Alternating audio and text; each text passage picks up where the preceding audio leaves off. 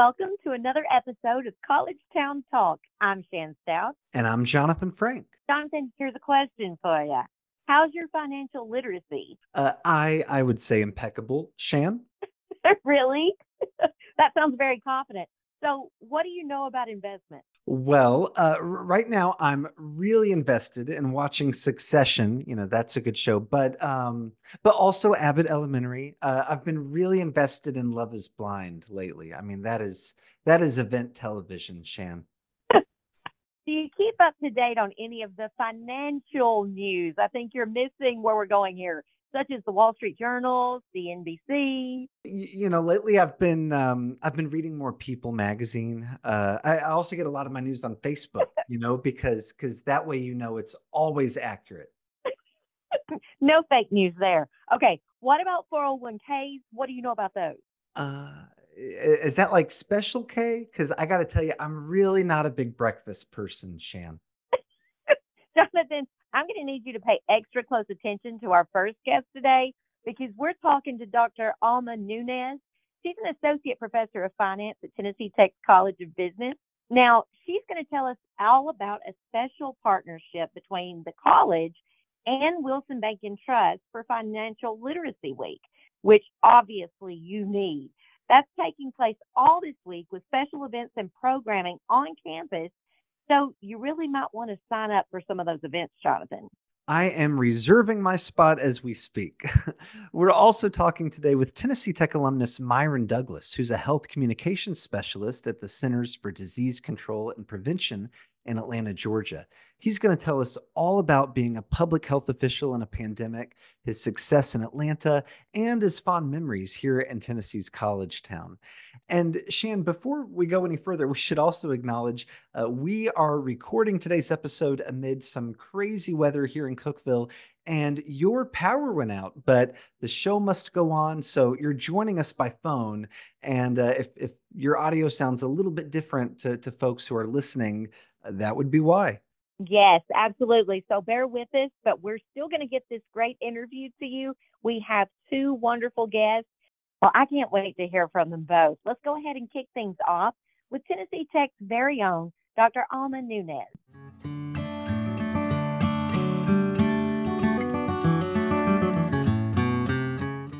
Well, folks, you've heard of Suze Orman and Dave Ramsey, but today we're doing you one better by introducing you to Tennessee Tech's very own Dr. Alma Nunez.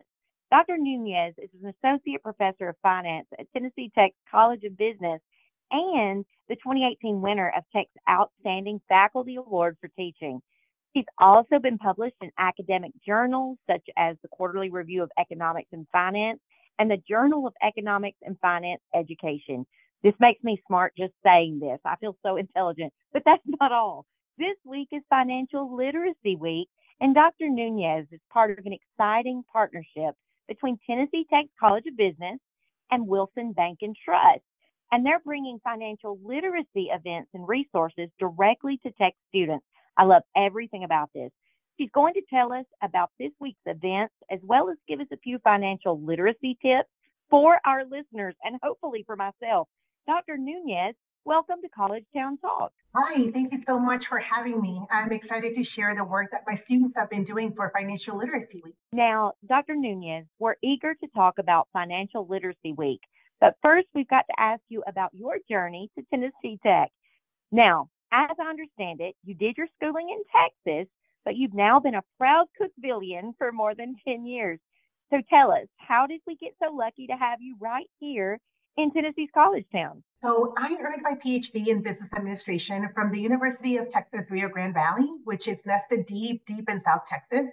Um, given my alma mater's uh, closeness to the U.S.-Mexico border, we specialize quite a bit in international business. And so my PhD is in business administration with an emphasis in finance, but my research is in international finance. So when Tennessee Tech was hiring now 12 years ago, um, I was very fortunate to be the selected candidate, and I've loved every one of my 11 years here. Well, I, I, know that there are a lot of students and colleagues uh, of yours that would say they've loved these 11 years that you've served at, at Tennessee Tech as well. Let's talk about the great events and resources your team has pulled together for Financial Literacy Week with Wilson Bank and Trust.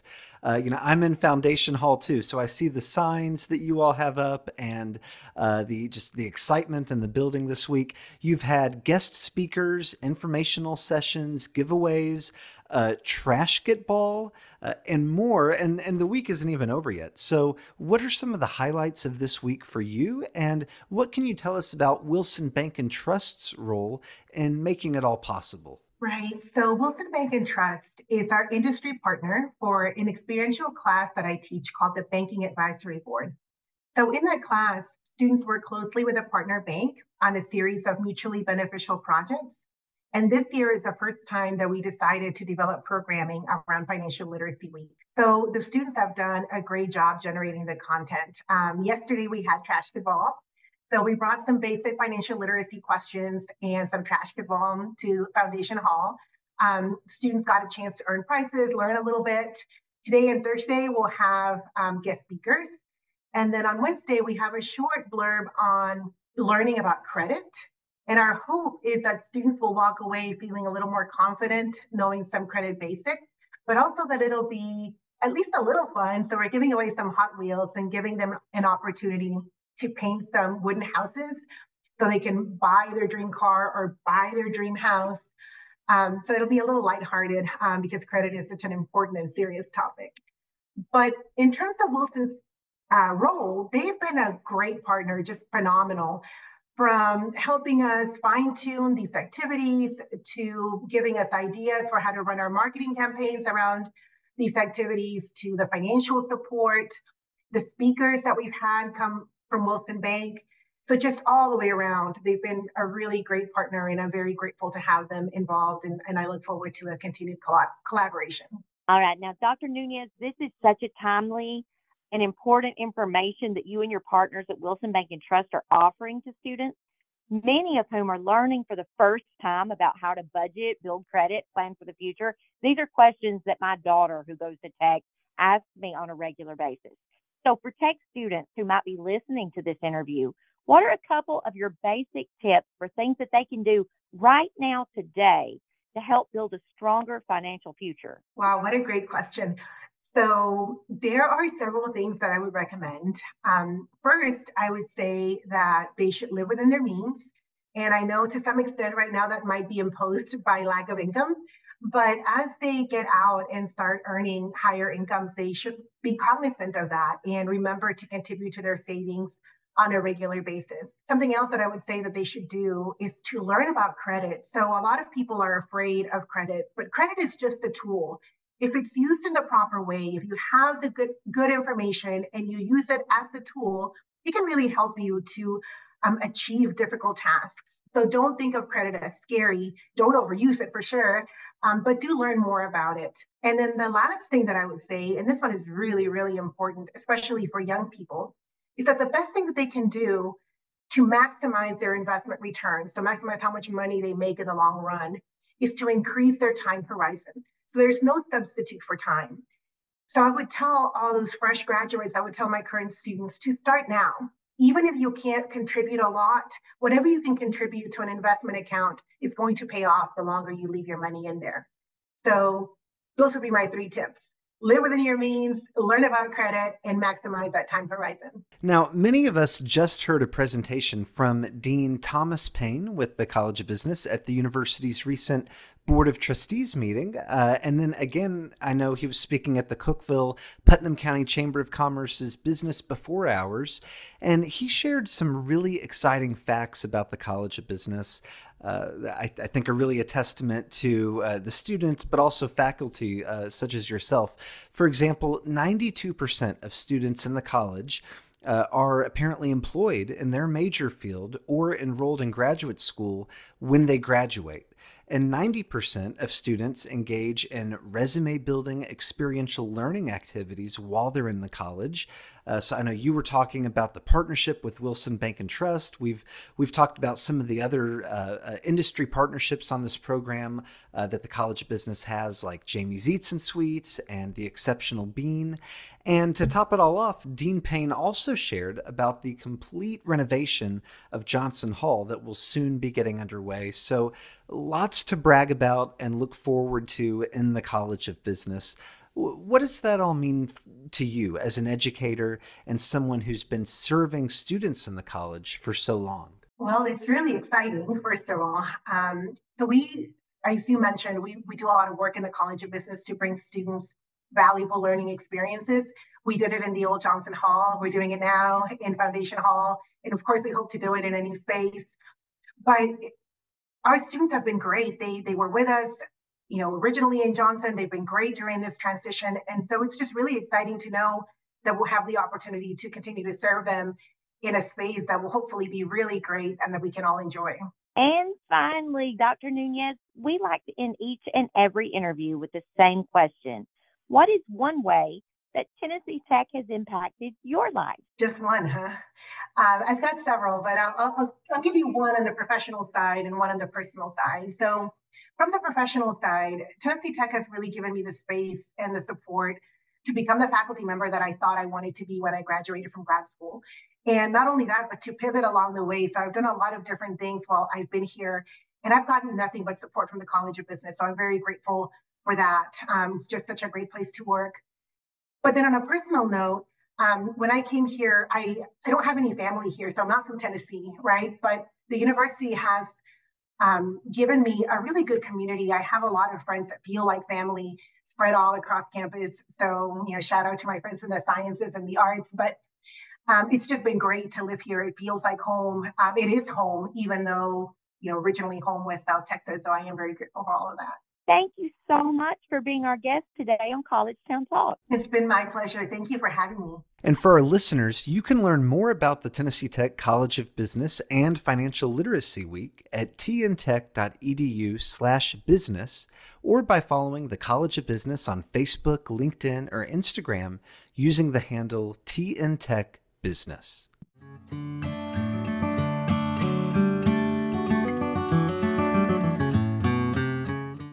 Shan, it's 3 p.m. Do you know where your hall director from college is? I can't say that I do, Jonathan. Do you? As a matter of fact, I do because he's our next guest. Today, we're talking with Myron Douglas, a Tennessee Tech alumnus from the class of 2010, who now serves as a health communications specialist in the Radiation Studies Team at the Centers for Disease Control and Prevention, also known as the CDC, in Atlanta, Georgia. Through his work at the CDC, Myron has deployed to locations as diverse as the Virgin Islands, Puerto Rico, Los Angeles, and Palau, which I had to look up, to lead emergency preparedness efforts and serve on the ground in the immediate aftermath of disasters and emergency events.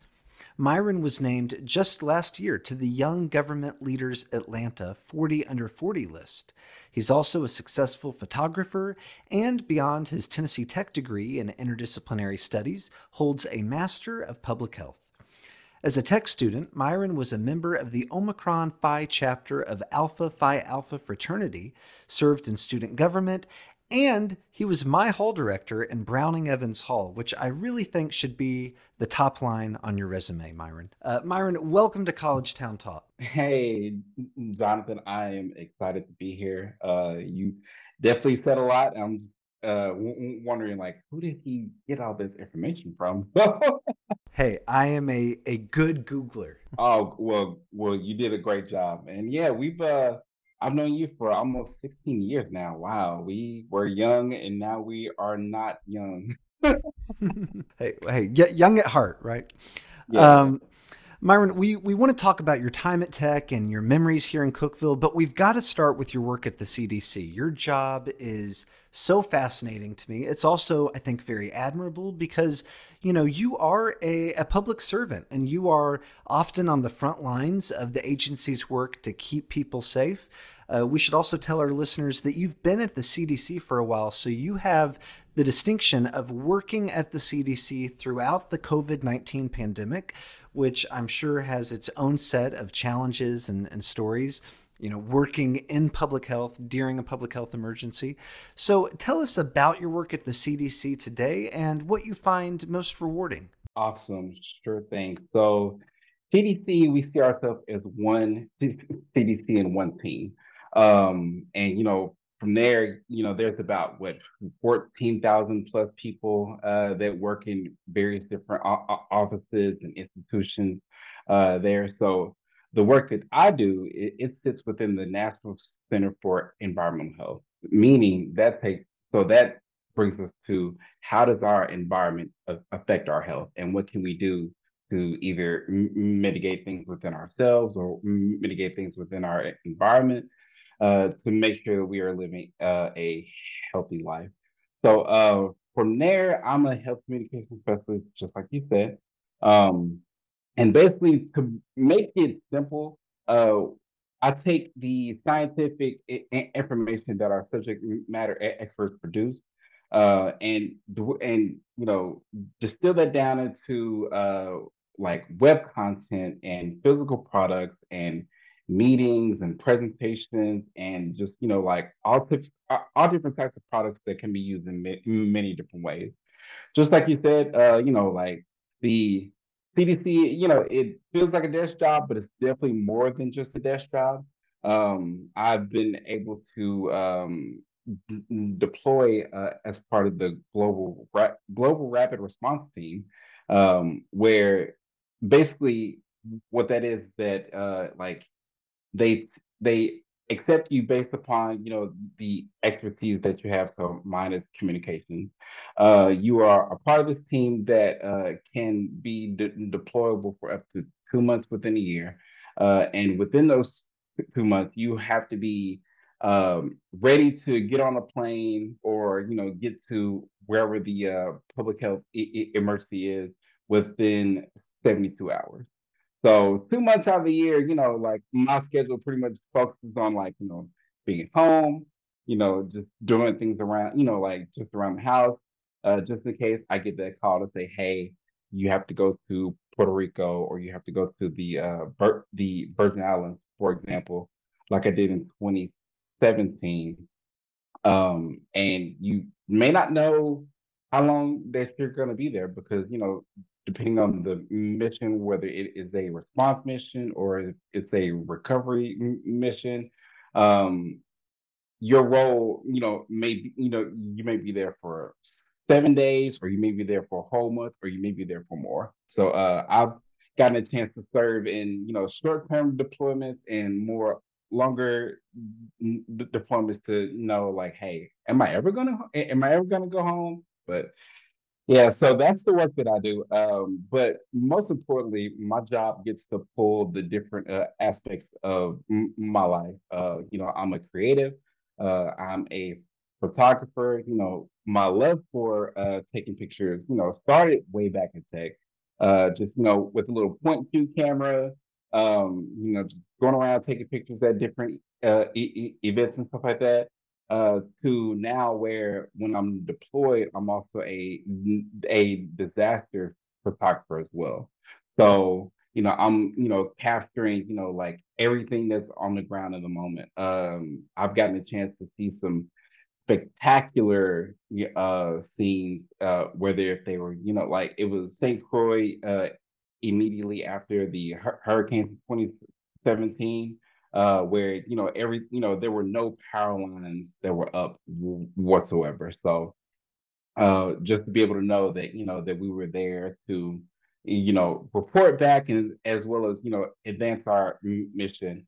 Uh, it's it, it's a great thing. It's like it's probably the most rewarding job I've had in my whole life, just because it you know it takes in more than just my uh my profession as far as like how I was educated, but you know, the other skills that I have. Now, Myron, let's talk a little more about your work with the CDC because your career has taken you to some faraway places, but not for a vacation. For example, you were deployed to the Virgin Islands in the immediate aftermath of Hurricane Irma and Maria in 2017. Now, that was at a time when much of the island lacked internet, television, or even electricity. That was uh, some dire times for you.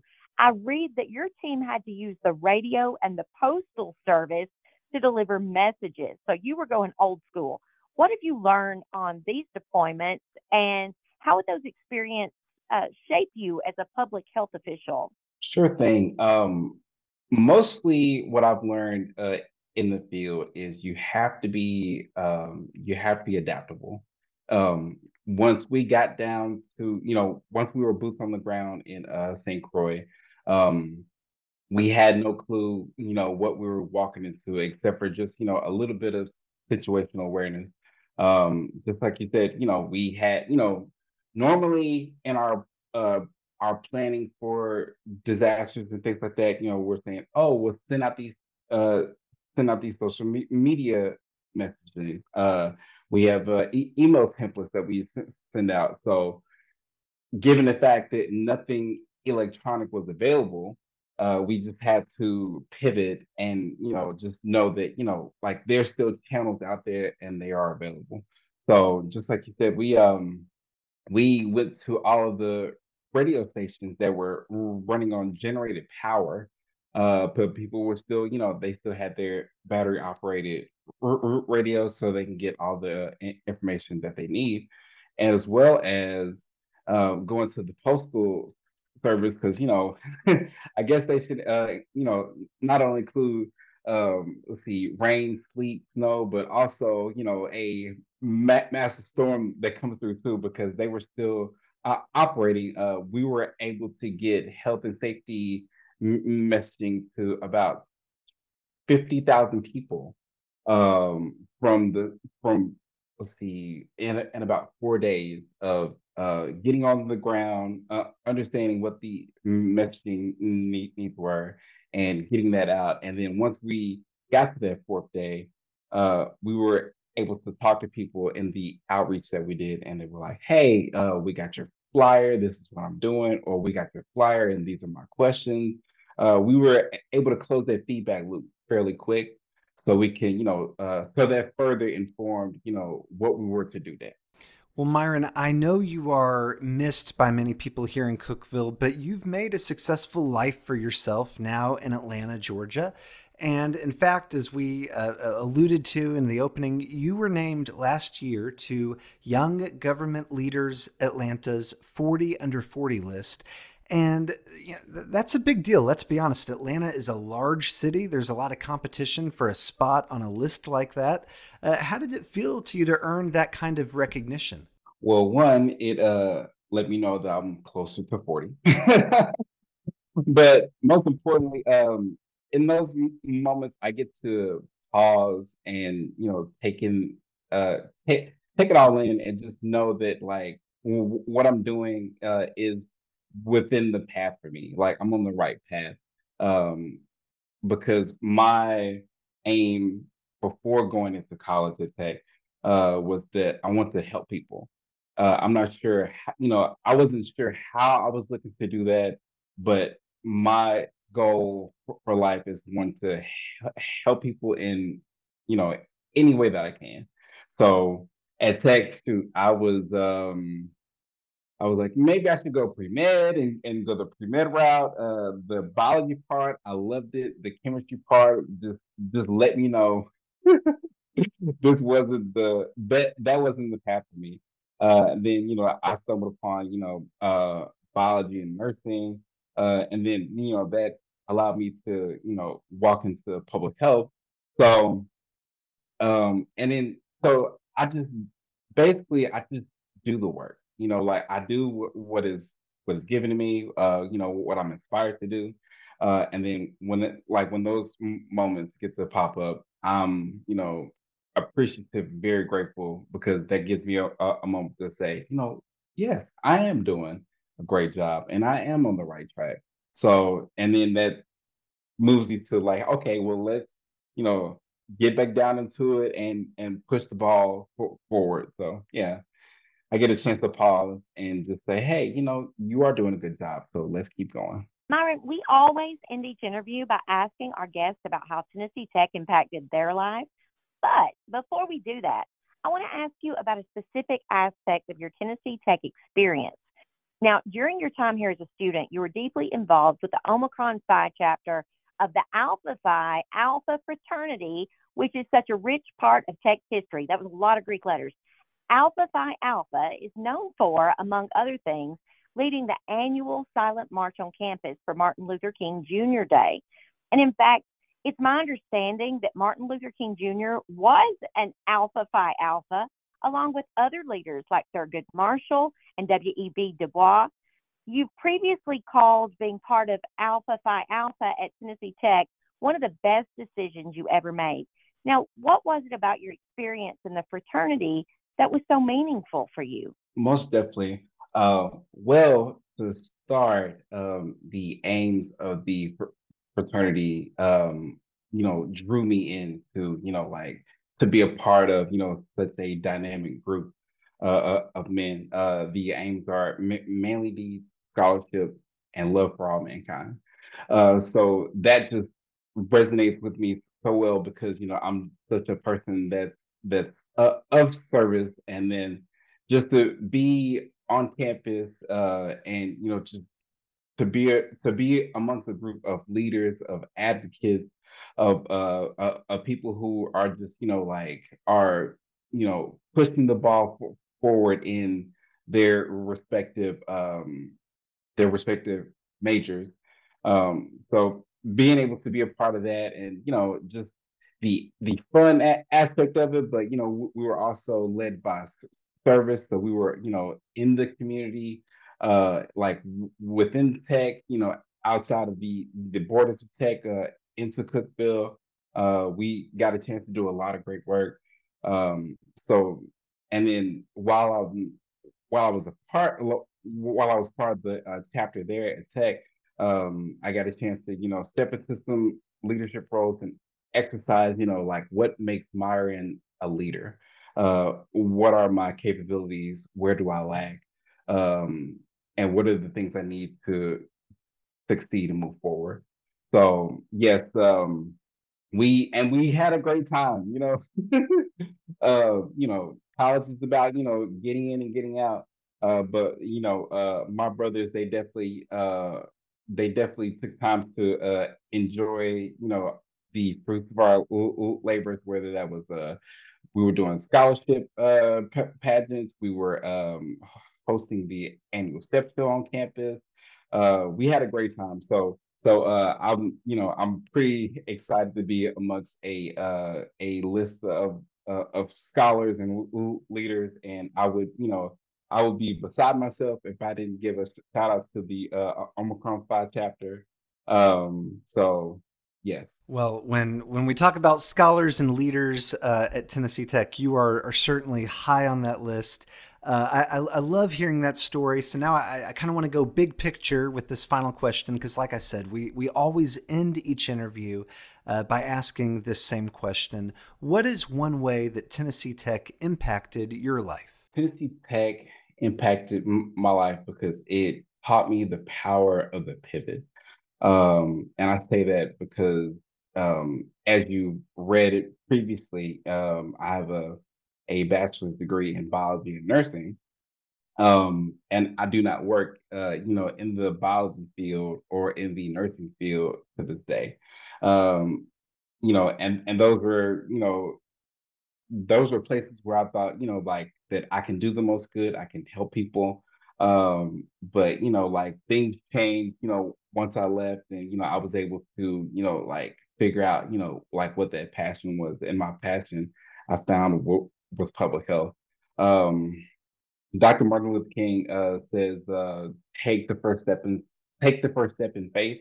Uh, you won't see the whole staircase, but but take the first step."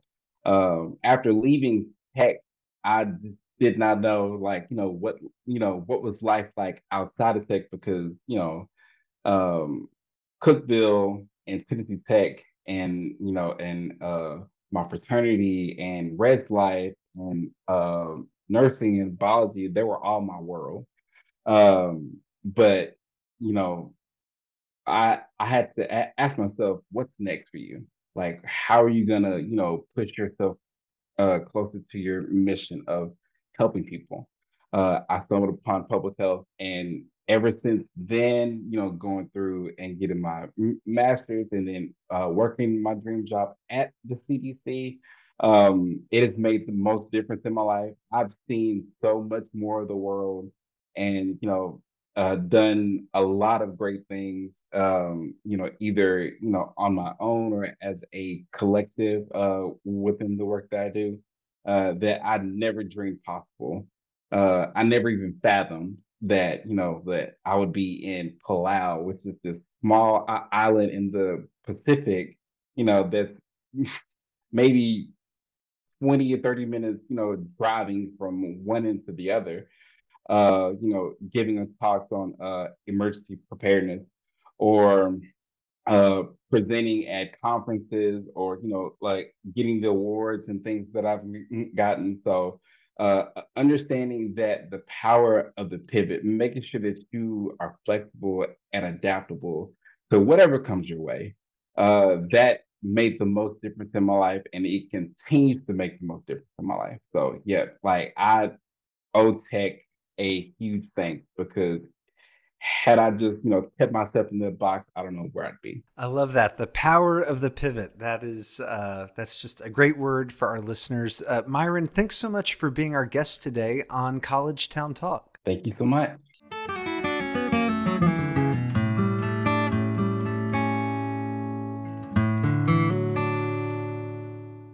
We learned so much from Dr. Alma Núñez and Myron Douglas today. We want to thank them for being our guests on College Town Talk, and thanks to all of you for listening. If you haven't done so already, be sure to hit that subscribe button, leave us a review, and share this podcast with your friends. It all helps to spread the word about the great things happening right here in Cookeville. And we'll meet you back right here again next week for more conversations with the people who make Cookeville Tennessee's college town.